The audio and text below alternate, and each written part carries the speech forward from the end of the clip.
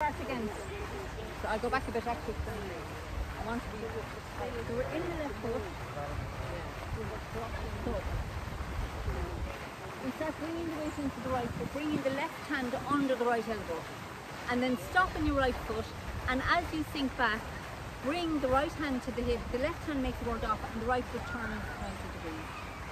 And then we step with an empty right foot to the corner, left foot, sorry. Roll the left hand up, and the right hand pushes.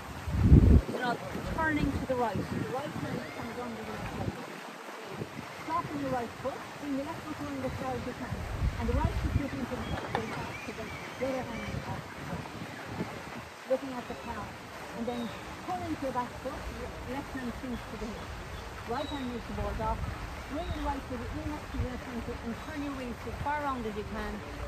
Step onto the heel, roll up and push.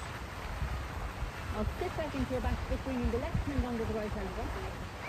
Pick up the right foot, step empty, and let the movement bring your right hand to your hip and your left hand towards off. Then step with the left, empty, and then let the movement roll the left hand up and right hand.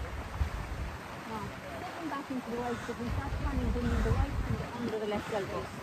The left hand is looking at the pond sit back into your left foot as your left hand comes to your hip and the right hand makes the ward off. Bring the right foot in by the ankle, turn right round as far as you can, step onto the heel, empty, and then let the movement roll the right hand up and the left hand in. Let it off clearly, leave the foot.